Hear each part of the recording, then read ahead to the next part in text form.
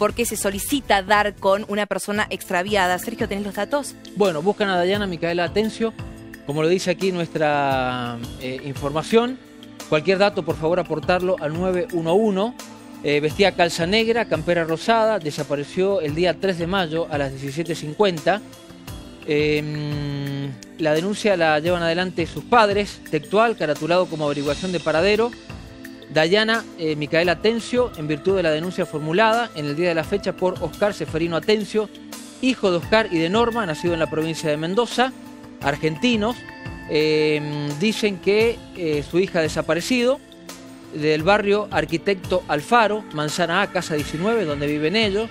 La preocupación dan a conocer cómo vestía la chica el día de su desaparición. Reiteramos cualquier dato sobre el paradero de esta joven aportarlo por favor al 911. Dayana vestía calza negra, campera rosada, desapareció aquí en la provincia de Mendoza el día 3 de mayo a las 17.50. Si usted la vio, si sabe dónde está, por favor comunicarse porque su familia realmente está desesperada. Información que acerca Noticiero 7, la justicia mendocina.